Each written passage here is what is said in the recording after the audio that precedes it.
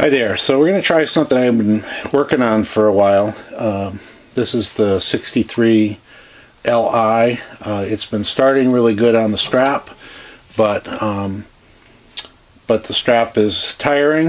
Uh, so there were some things online, uh, folks that had built um, different things to start this. So this is a 15 16 socket that I had laying around.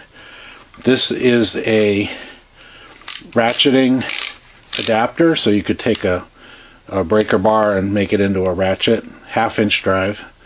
Um, I did RTV it uh, silicone it into the the um, socket so that if this pops off but not this you don't have this you know going off into a low earth orbit if it's stuck on the the um, the nut. So this goes on the crankshaft nut and I realize that's probably not the ideal thing but uh, I think it because I'm not using a impact driver I don't think it's gonna really screw up anything too much.